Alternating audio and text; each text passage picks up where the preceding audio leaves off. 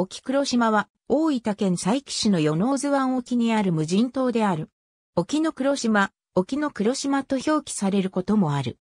旧与野津村と旧釜江町の境界にある岸目に先の約 2km 南東の沖合にあり、島自体も合併前は与野津村と釜江町に二分されていた。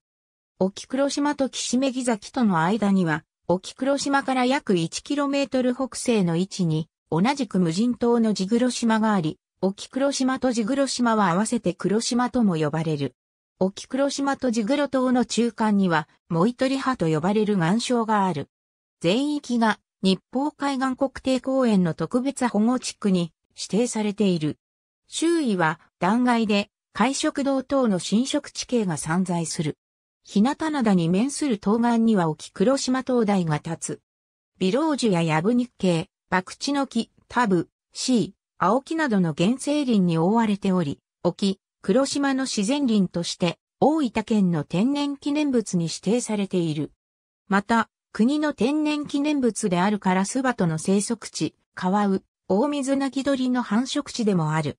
沖黒島及び周辺の岩礁は同じく佐伯市内にある横島、鶴岬などと並び、九州を代表する磯釣りのポイントとして知られている。本土との間に定期船はなく、島へは瀬渡し船などで渡る。ありがとうございます。